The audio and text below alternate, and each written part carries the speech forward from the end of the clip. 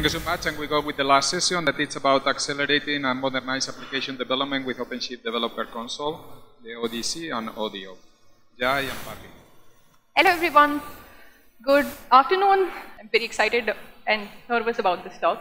Uh, all right, so in this talk, we're going to talk about how you can accelerate and modernize your application development with OpenShift Developer Console and ODO. It's mouthful, I know, but we couldn't help it. Uh, so my name is Parthvi, and I work as a software engineer uh, for Red Hat, specifically Red Hat Developer Tools. Um, so I'm one of the developers for Odo. What Odo is, we'll talk in a bit. I have a background in quality engineering, worked on prod, uh, products such as Red Hat Cloud Forms and Red Hat Insight. I have huge fondness for dogs. I have a big soft spot for them. I have a beautiful six-year-old Labrador. We can talk about it if you want. Um, I would like my co-speaker to introduce himself and tell you a bit about the agenda for this talk. So over to you, Jay. So, hello everyone. I'm really excited to be here in front of you all and talk about uh, how we're going to accelerate or provide uh, enhanced experience for a developer. So brief about me, my name is Jay and I'm part of Red Hat. I'm working as an engineering manager in OpenShift Development Console. And I contribute to projects like OpenShift Console, OpenShift Dev Console, and my area of interest lies around anything related to web, UI, or Kubernetes. That was brief about me. And in today's agenda, we are going to talk about the developer workflow, the pain which they go through, and the toolings and the products which we have to enhance their experience, like Odo, OpenShift Console, and OpenShift Developer Console. Now let's see what's our mission. So our mission is basically developer productivity, and we look for the challenges the developer face and how to overcome them, to provide them a solution. So in next subsequent slides, we'll be talking through it and trying to show you demos how we are going to achieve that. So with that, I'll pass to Parthvi. When we talk about developer workflow, we mainly talk about two things. The first one being inner loop, second one being outer loop. You'll hear these terms a lot today, so please bear with us. When we say inner loop, it is the initial phase of your application development lifecycle when you are continuously coding, building, and testing your application locally until you're satisfied with it and want to share it with your team for them to review. Um, I hope that was clear. Uh, so next is outer loop development cycle, which happens at a larger team level where your code is going through a review, where you are in, uh, doing integration testing, security and compliance check until you're ready to move to production and release your application. Uh, Odo is targeted towards your inner loop development cycle, while OpenShift Developer Console, which Jay is going to talk about, is focused on the outer loop development cycle. So let's talk, uh, sorry. So Red Hat does provide a wide variety of tools for both your inner loop and outer loop. You can take a look at that. The image is not updated, but uh, we couldn't fit all the products in one page. What is Odo? The name is a bit weird. I don't know, I find it weird. Um, but Odo is a very simple CLI tool for application developers who want to work closely with a cloud native environment, maybe it's OpenShift or Kubernetes or whatnot, but find it difficult to do so because of the complexities and steep learning curve involved in running your application on the cluster. Um, so let's take an example of this application developer who wants to run their application on OpenShift cluster. Now you might ask, why does he want to do that? Why, sorry, why do they want to do that? Why can't they just do it locally? But this application, once it is ready for production, will be deployed on maybe OpenShift or Kubernetes or the likewise cloud native environments. And so our application would application developer would like to run their inner loop in a production-like environment. Um, so this image, it shows, it gives you a brief idea about the complexities involved. Uh, you need to know about deployments, services, persistent volumes, and whatnot to run your application on the cluster. Odo can uh, help abstract these complexities. Next slide. So with the help of Odo and Dev DevFile, this application developer can run their application on OpenShift or Kubernetes or likewise with two or three simple commands. Uh, since this is a Dev Nation day, I'm going to use OpenShift uh, but you can also, you know. Uh, so how am I doing so far? All good? I haven't gone blank, which is a good sign. Um, cool. so I am going to use a very simple Hello World application. I know people don't like it, but you know it's simple. It, it works. This works. Um, so it is a very simple Go project, and I would like to run this project on OpenShift cluster. Uh, so if anyone wants to do a live demo, if someone is like me and wants to uh, do these things with me, you can check out uh, the GitHub link, this repository. Um, sorry. You can try this out. You can clone it locally and follow it with me. And Odo, since it's a CLI tool, it is supported for all the standard operating systems. Uh, we have Linux, Mac OS, Windows, so it's a very simple command. You can just uh, install it and run. For my case, I've already installed Odo. Let's quickly check its version. It's V3. We recently went GA with that, which is why I'm talking about it here. Uh, so let's take a look at our main.go, which is the only file that we have. I hope people are comfortable with Go. If not, I can just walk you through it. Um, so we have, our application has two simple endpoints. The first one is this. It's a ping. Uh, when you call it, it gives a response in Pong. The other one is connect, but we'll talk about it in a bit. Um, now, I mentioned before that Odo uses dev file. Now, what is dev file? Dev file, uh, so nowadays we're defining everything as code. You have infrastructure as code, you have CI/CD as code. So why not your development environment as a code? Dev file will help you define your development environment as a code. And Odo uses dev file to understand the resources it should create for you and the commands it should run on those resources to run your application on a cluster. Um, so currently we do not have a dev file uh, and we will use odo to fetch a dev file for us. The command is odo init. So when you do odo init, it will analyze your source code and determine the best suitable dev file for you.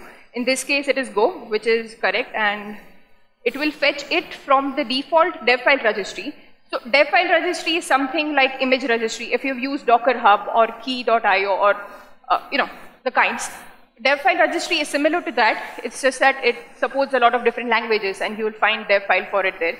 Um, all right.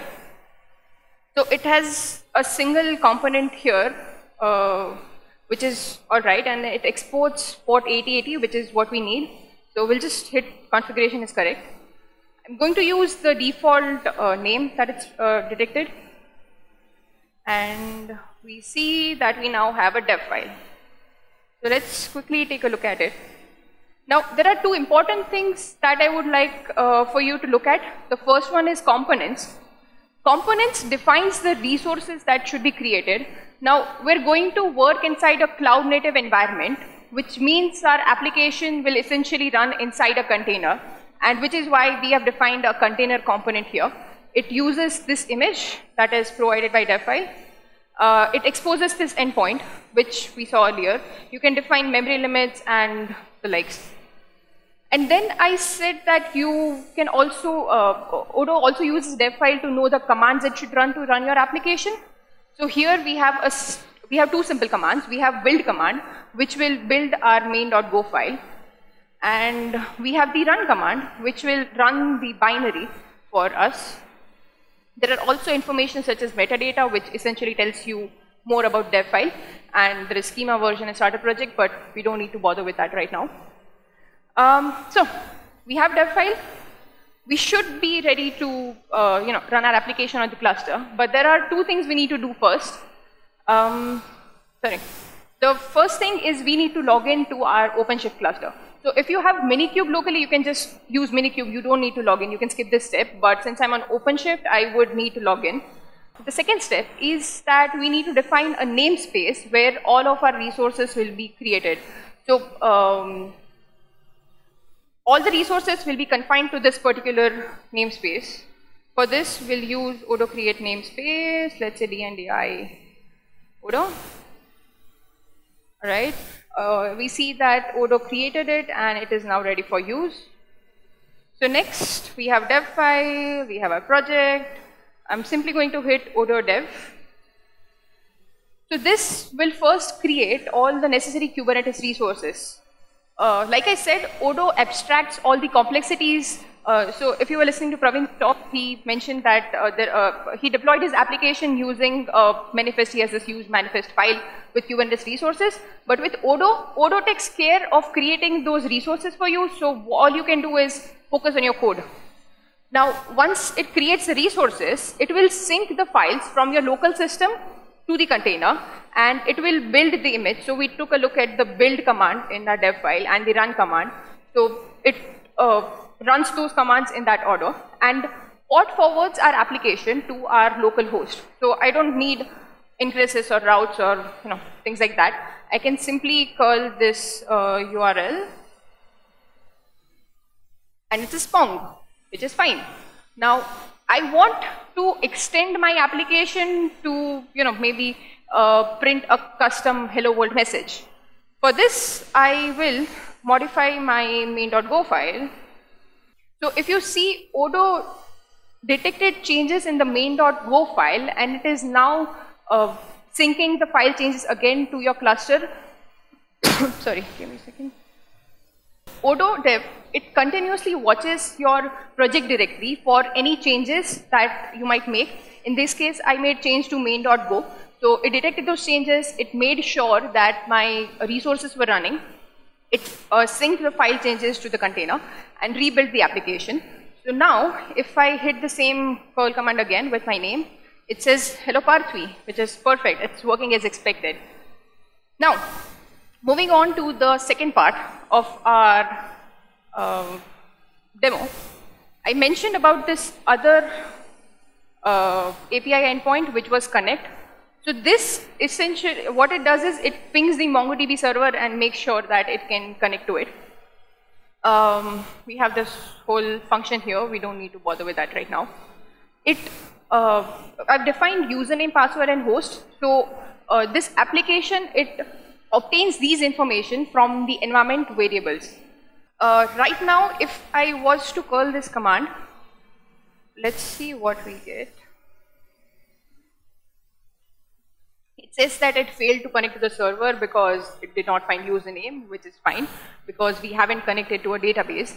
Now, since we're working in a cloud native environment, uh, my database is deployed as a microservice.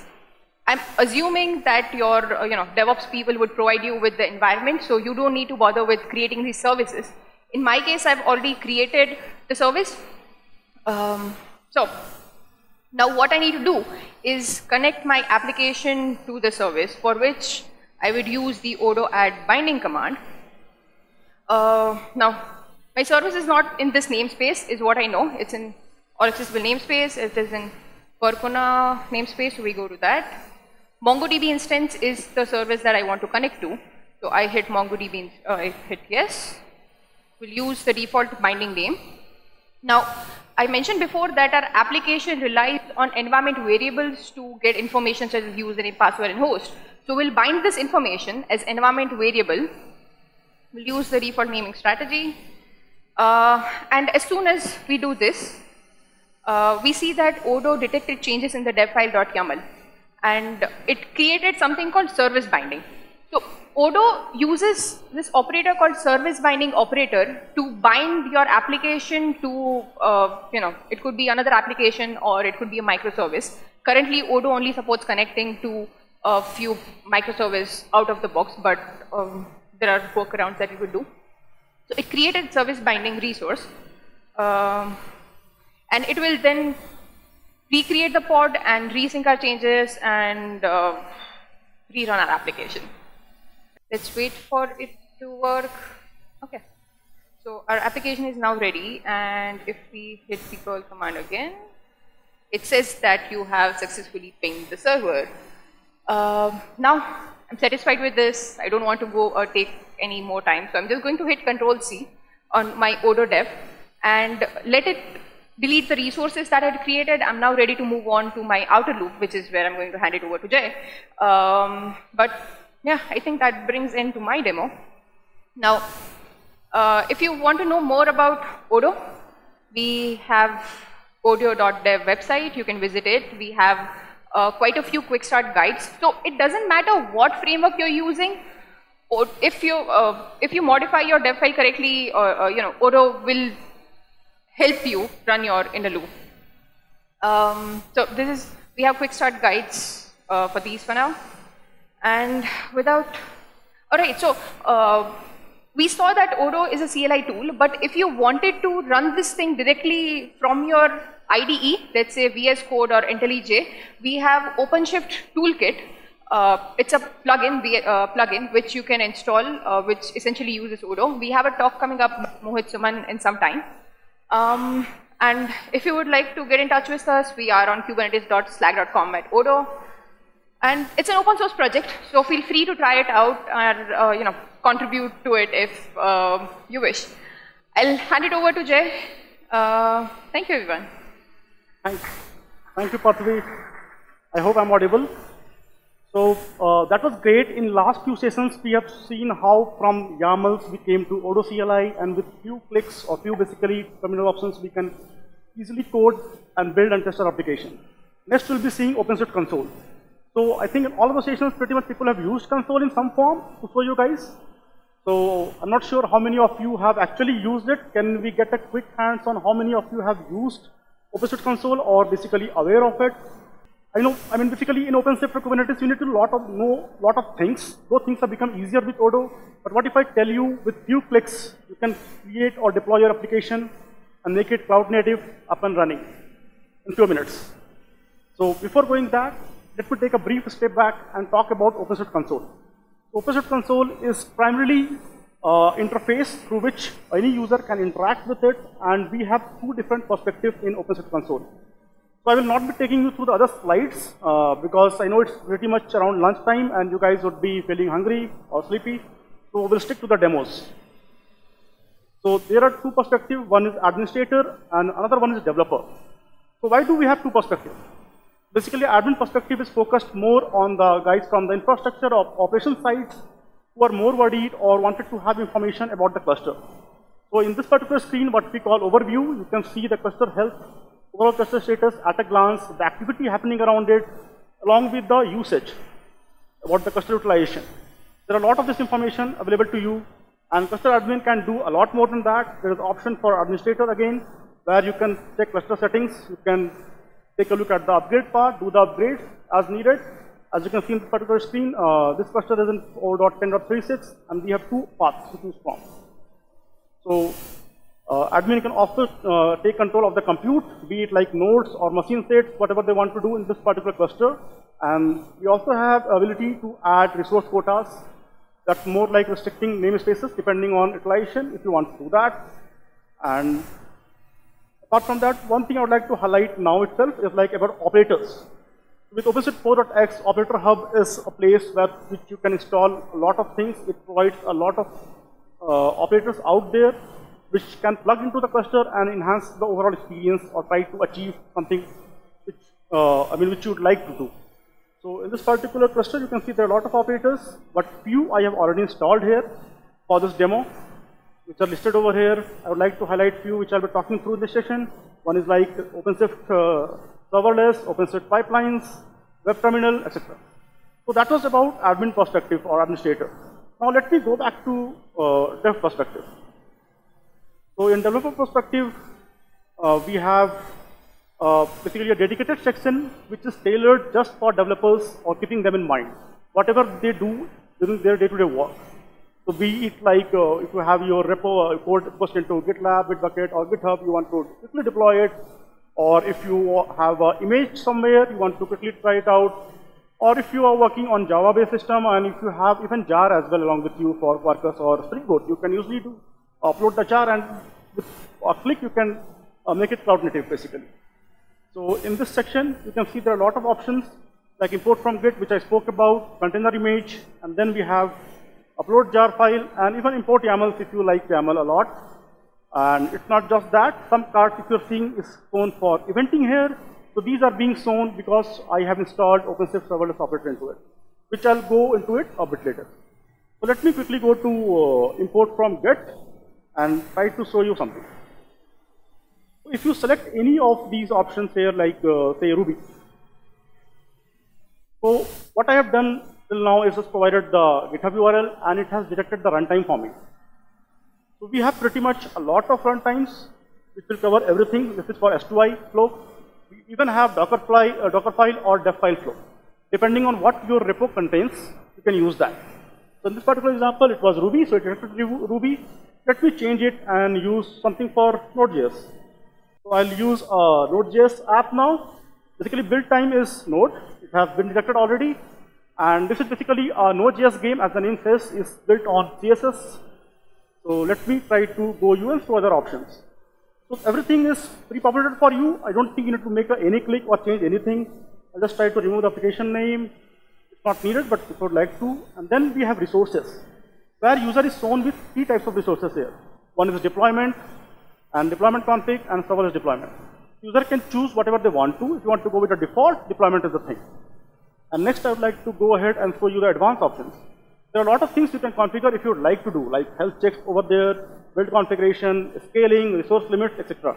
But I'm not doing anything. All I want to show you with basically two clicks, you can deploy your application.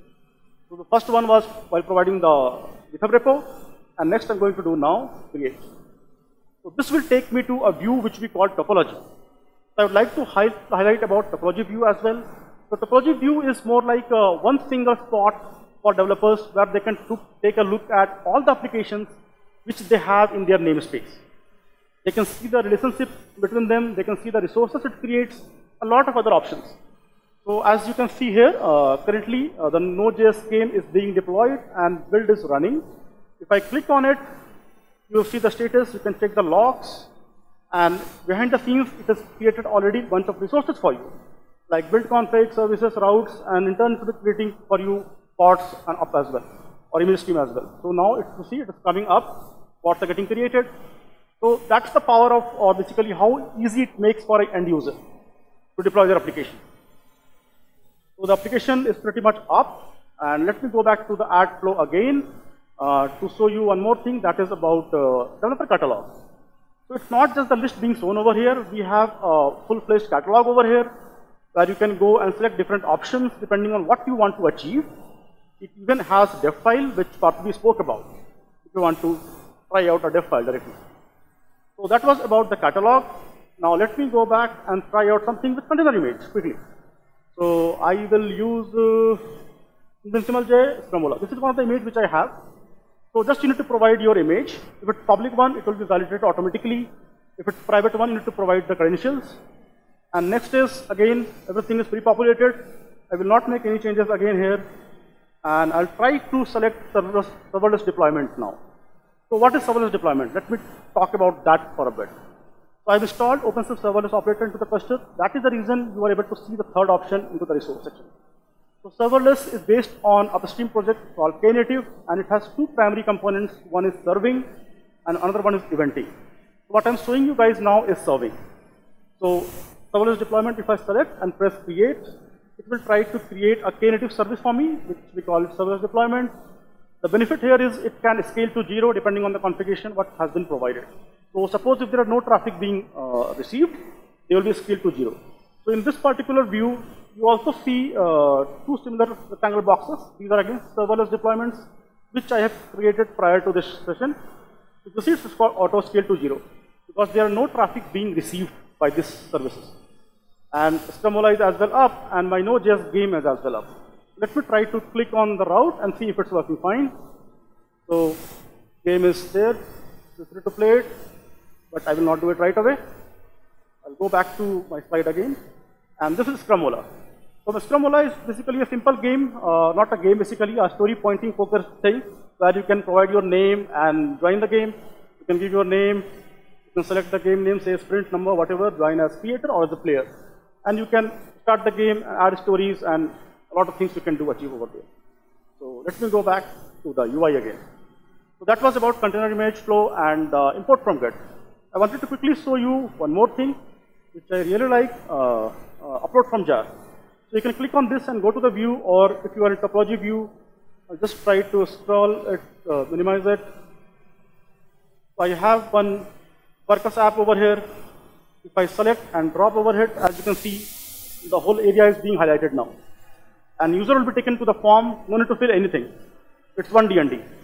I will go with default things. You can keep application name as well, and I will say create. But you can again change and configure anything or override things if you need to. So I'll be doing create now. So, so now the jar is being deployed, and if you click on the status, you can see similar information as I showed before. So now let me try to go back to Scrumbola again, at the Knative service, and I would like to talk about traffic splitting. So basically, it's not just that uh, what is being deployed. You see in the right side, there are revisions. We can have multiple revisions, and we can split the traffic among those revisions. So how to achieve that? This time I'll be editing my application. So with one click, you're back to the source, how you created it. And this time I'll go to scaling options, and I'll say min pod as 1 and max as 3. And I'll do save. So in the project view, you can see again a new revision has come up and the old pods are getting terminated. And there is an option pod set traffic distribution, which I would like to show you now. It opens the modal, you can say, depending on your interest, what traffic you want to be received by which of the revisions. I'll say 50% for uh, O2 and say 40% for O1. And I'll do save. Boom. We have our distribution being shown into the UI as well. You can try it out later. I will tell you the link how to quickly check it out. So that was about serving. Now let me go to the next component for serverless that is eventing. So basically eventing we have uh, different things based on basically cloud events. There is a way where, with which you can subscribe to cloud events. There are different things like channels or brokers depending on the usage. I am not going into detail of those as there is a session from Mohit post lunch which you can join. And for now I'll be trying to create something. Let me create a channel. So there are different kinds of channels. Currently I have in-memory uh, present over here. I'll just select in-memory and say create. So channel is visualized like this and as you can see there are no event sources or subscribers. Let me create an event source. If I go to event sources, you can see bunch of event sources over there. There are many from uh, Apache. You can subscribe, you can create any of these sources, be it from Telegram, AWS Kinesis or Slack, etc. So I will stick to uh, ping source for now, just to show you, demonstrate you something. I'll do a create ping source. I can provide DevNation as my data and schedule I'll go with per second. And in the input target, I'll select uh, the channel which I just created. So no further changes. And you can also go to YAML view if you would like to see. Uh, but that's fine for now. I'll go ahead and do a create. So as you can see, uh, there's a connection between my source and channel. But still channel doesn't have any subscription. Let me try to subscribe this channel to some of the services. So what I'll be doing for now, there are two event display services. Is basically a simple service which locks the cloud event which it receives. So I'll do a drag and drop on the first service. It creates a modal for me. Just do a click. Again drag and drop to other service and do a click. The connections are being formed, so we have our setup ready. The cloud events are being emitted through the event source, goes to the channel, and then to the services. So as you can see, the still auto scale to zero. So in a while, you will be seeing events coming in, and the logger will be printing that event. Definition in this case, which I have provided. So uh, let it. Uh, it will take some time. So meanwhile, I know many of you will be missing uh, even uh, terminal, right? I mean, you like terminal so much, you'd like to try a lot of things over there. So we have inbuilt terminal, which is powered by web terminal operator again into the OpenShift web console. And if you click on this particular icon, you will see that. So this is very useful, useful if you want to do something serious or want to make some changes or you are in some devices which doesn't have terminal like tablets or something like that. You can make use of this and it has a lot of tools already installed for you, the CLI. If you can take a look, it's there. You can also make it full screen if you would like to or maximize it. So great. I'll go back to the demo now and I'll close the terminal. Yes, and as you can see, the pods are up. If I click on the service in the pod logs, you can see the events being emitted here. So that was about the serverless. Next thing which I would like to talk about is OpenShift pipelines. So we have seen the S2I flow initially, which I showed you guys. So OpenShift pipelines is based on Tekton, which is an upstream project again. Uh, let me go to import from Git quickly, and this time I'll deploy a Golang app. I'll select deployment, and there's an option to add pipeline. So pipelines is basically uh, basically different tasks work together which forms a pipeline. So this is the pipeline definition which you are seeing, and once we create uh, hit create, it will create or invoke that pipelines for us and do the fetch, build, and deploy. So currently build is in progress. Some tasks are running and some are in pending state. If you want to take a closer look, you can go to the pipelines tab and just click on pipeline runs, and it shows you the current status along with the logs for it. So that was about uh, OpenShift serverless and pipelines, which I need to cover. And now next is, okay, great, we have built so many workloads, uh, how to observe it or how to basically monitor it or how to track it. In Dev Console, we also have a section dedicated called observability. If you click on that, it preloads with some of the dashboards. I will select pods for now. And as you can see, it is showing me the CPU utilization, CPU quota, etc. You can even go to metrics tab and try to customize or use any query from queries if you want to play with or tweak anything and try to get the information what you need. So that was about uh, the monitoring sections and these sections are available in admin as well. If uh, any of the administrator wants to take a look, they can take a look at a glance at across all namespaces. So this is what I wanted to talk about pretty much. And next thing which I'd like to show about, if you guys are missing basically dark theme, we also have user preferences section where you can select the language of your choice perspective of your choice which you want to land to, or you can select dark theme and oh, so we have a lot of things to offer over here. I'll go back to slide. I know we are during the near the lunchtime now. So these slides pretty much I covered during my presentation. So I'll just do a quick recap. We spoke about the admin and dev perspective. We saw what ODC is or OpenShift Dev Console and the benefit it provides to the end users. Then we discussed about the topology view, which provides a lot of information at a glance to the user and we discussed about web terminal, OpenShift serverless, both the components which it provides like serving and eventing.